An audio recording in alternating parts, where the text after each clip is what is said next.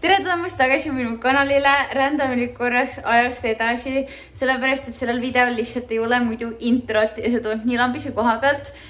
kuna need olid kaks järjestikust võttepäeva, siis ma unustasin esimesele videole outro filmida ja sellele videole intro filmida, ehk siis tere tulemast tagasi mu kanalile.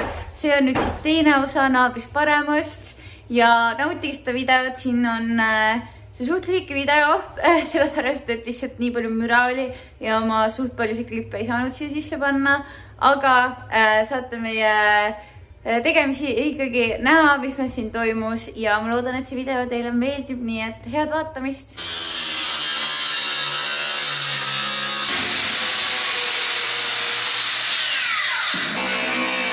järgi välja lõigata. akusi läheb julmalt.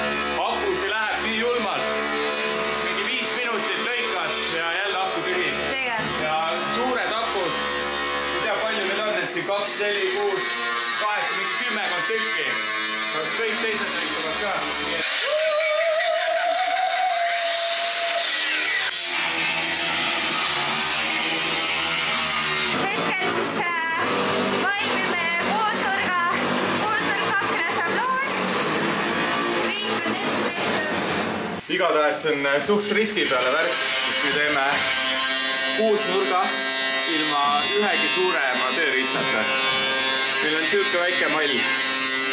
see reaalselt, see on nii väike, aga me läheme riski peale välja. ma arvan, et me saime enam-vähem õige mõõdu. saame hakkama sellega. nii, me saime lõigatud või noh, mis lõigatud, me saime, ühesõnaga ma näitan teile, me saime äh, kuus nurga siia valmis joonistatud, siis. Ma hoidsin seda šabloonikest käes nagu mingit äh, hingeinnistust, et see jumala õigesti läheks paigast ära.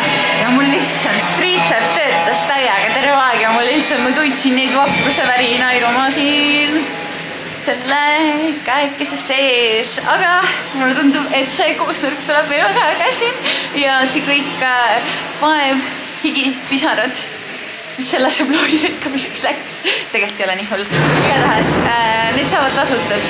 Ja ma arvan, on äh, kõik on väga äge. Nii, Kaspar siin lõikas ikka natukene seda kuusnurka akent, me sai vahepeal aku jälle otsa nagu ikka.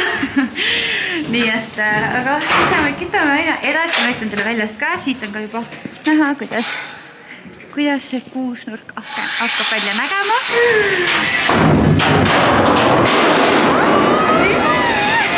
Loodame, et see lõigates mõõtudest ka ikka ilusti, et ei ole midagi jama. teeme väikse kontrolli.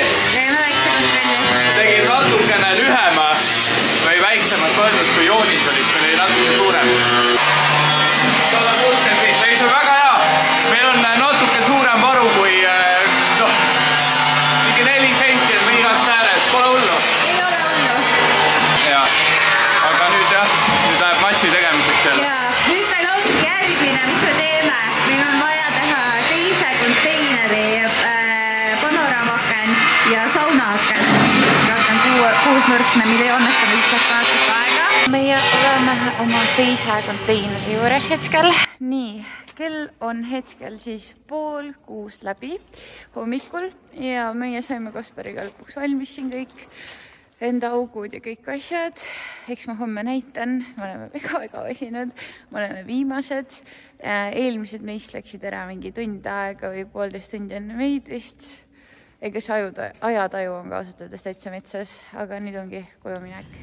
no nii, täna on uus päev tegelikult on lihtsalt, kell on natuke kolm tundi edasi tiksunud sellest viimasest klipist. hetkel kell on äh, üheksa kolmkümmend ja liigumegi siis uuesti võtetele. Kaspar, kuidas sul on hetkel olla? ma olen väsinud, aga külm dušš õnneks äh, oli päris ergutav. Nii et äh, ma ei tea, ja, ja meil on äh, kohvid on ka kaasas abimeheks ja leppisime kokku, et kindlasti väga palju vett joome, et seda tühi ära unustada, sest et muidu lihtsalt sihuke veepuudus kehas ja siis on veel hullem olla lihtsalt. nii et äh, jaa, aga ma arvan, et tänane päev tuleb äh, noh, muidugi selles mõttes ju raske, et magamata oleme suht, aga see paar tundi und juba tegelikult aitas täiega palju ja aga samal ajal täna ei ole seda mingi aukude lõikamist ja me ei pea homseks midagi valmis olema. ehk siis äh, tänane päev tuleb äh, kohe kindlasti selles mõttes lihtsam ja mul on lihtsalt äh, ülimalt hea meel, et et me ei teinud niisugust otsust, et aa, mõned augud lõigatud, paar tükki veel, lähme koju, magame, tuleme tagasi ja enne hindamist siis äh, teeme need ülejäänud augud, et tegelikult mõistlik on ikkagist teha kõik jutis ära ja nii lihtsalt ongi. mul alguses oli suht suur kahtlus, et äh, me ei jõua valmis, vaata mm.. täiesti kindel olin, et me ei jõua nagu, et me peame tegema mitmes osas. saame siis selle punase, vahet ei ole, vaata. aga ma ei tea, nii uhke tunne on, et, me ikkagi saime, jõudsime ära teha tõesti on uhke tunne. see on tegelikult äh, täielikult üle oma varjuhüppamine, eriti sul, sa tegid reaalselt kaksteist tundi, sa lihtsalt puurisid auke nagu, lihtsalt olid seal, lõikasid, sorry, lõikasid auke lihtsalt kaksteist tundi järjest. Ja ma lihvisin, nagu see oli põhimõtteliselt ainuke asi, mis ma tegin ja aitasin hoida mingeid asju, kui vaja oli. Ja mul juba on nagu lihased on valusad, ütleme nii, lihased on päriselt valusad sellest ja ikkagi keha on nagu maks vässu, aga samas, samas on nagu rahutunne on sees, sest ma tean, et me oleme lihtsalt nii palju pingutanud. Ja, ja ma ei tea, meil oli nii erilahendus ka tegelikult, need kaks, kaks kuusnurkakent on ju, nende šabloonide tegemine, väljalõikamine, kõik see nagu, pluss need kaks kõige suuremat äh, äh, nii-öelda väljalõike kohta siis, kus need kaks konteinerit on omavahel juba seotud, et äh, nagu ma poleks never arvanud, et nende lõikamine võtab nii kaua aega, aga tegelikult on emotsioonid ikkagi positiivsed. olgem ausad, sest et eile oli küll sihuke, et kuhu me ennast nüüd mässinud oleme mis siin toimub, vaata, olemegi siin, lõikame neid auke ja lihvime auke ja teeme naabrist parema asjaga, tegelikult on fun, tegelikult peab nautima, see on peamine. nii et päev kaks läheb, vaatame, mis meid täna ees ootab, ilmselt mingi mäng, jagatakse rosette jälle, vaadatakse, kes võidab selle lõikamistöö, intervjuud ja asjad, aga ega muud vist väga ei olegi. nii, meil sai hetkel Bauhofi mäng läbi. kuidas meil läks? väga hästi, meil äh, vedas, meil oli üks abivalmis Bauhofi töötaja, kes tuli ja näitas ise kõik ette. kiired jalad olid meil ka, oleme ausad, me ikka jooksime korralikult. nojah, selles ja. suhtes. ma arvan, kõigil on äh, sama kiired jalad, aga ma loodan, et neil ei ole nii abivalmis äh, töötajaid. loodame, loodame, et äkki ta läheb pausile täpselt selleks ajaks, kui nemad lähevad mm et äh, me peame selle kinni panema, sest me saime kahjuks oma esimese punase roseti äh,. aga me teadsime, et see tuleb. jah. hindamisel me teadsime, et see tuleb, enne me hüppasime kollas, aga hindamisel me teadsime, sest me ei teadnud selle, meil oli lihtsalt äh,, oligi äh, nurk või kuidas see ütleb, post või mis tala. nurga või tuginurk. tuginurk oli lihtsalt natukene ära saetud ja me lihtsalt ei osanud isegi tähelepanu pöörata sellele, me ei ole kunagi konteineritega töötanud. põhimõtteliselt nõrgestasime nurka, mida ei oleks tohtinud teha, sest transpordi käigus võib paindesse minna, kuigi ma väga kahtlen selles, aga saan aru, nad seal saates, nad otsivadki igast pisidetaile, mille üle viriseda. ja noh, kuigi see ei ole ka enam nii pisiasi, ma saan aru, aga oleks me seda natuke rohkem maha võtnud. Mm.. aga ikkagi noh, arusaadav selles mõttes, aga meil oli põhiline, me saime need kõik augud tehtud just. ja see oli kõige olulisem ka. et me just seda jõuaks teha. ja mulle meeldib see, et meil on nagu kõik esimesed tulnud. meil oli saate esimene kuldne rosett läks meile, saate esimene punane rosett läks meile äh,, siis, mis meil saate esimene oli? kui esimene konteinerhauk, jah ja nüüd ongi siis väike paus, teised teevad ka oma Bauhofi mängu ja meie lihtsalt ostame siin endale veits juua ja süüa ja siis äh, saab varsti võttepäev äkki läbi ka ja no koju magame ära kasside juurde. jep. Bye, näeme. vahepeal jõudsime koju äh,. nagu nägite ilmselt saatest ka, siis äh, kollast me ei saanud täna.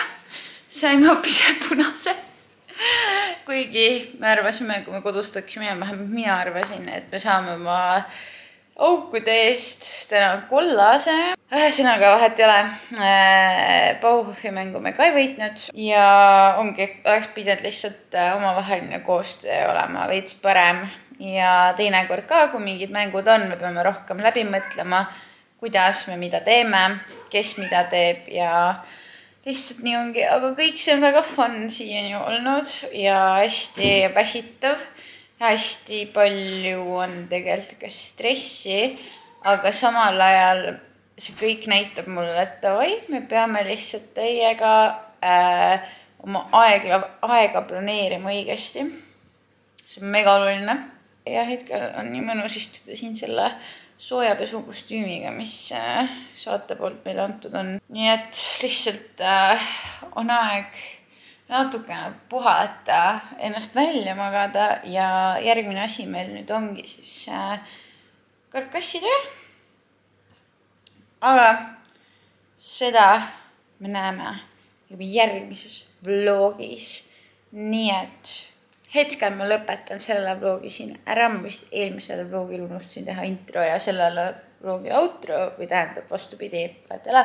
ja hoidke meid ikka silma peal, vaadake kolmapäeviti siis naabrist paremat. ühesõnaga, ühinege meiega sellel huvitaval teekonnal, kus me oleme ilmselt si senise elu kõige suurem väljakutse on see meile, vähemalt mulle sest ma ei ole ehitusega mitte kunagi varem kokku puutunud. ja kui ma nüüd ütlen, siis kaameratega nagu, okei okay,, ma hakkan sellest, ma räägin siis järgmises vlogis igatahes. hoidke silma peal ja kirjutage mulle, kuidas teile see saade meeldis, kuidas teile meeldib kõike.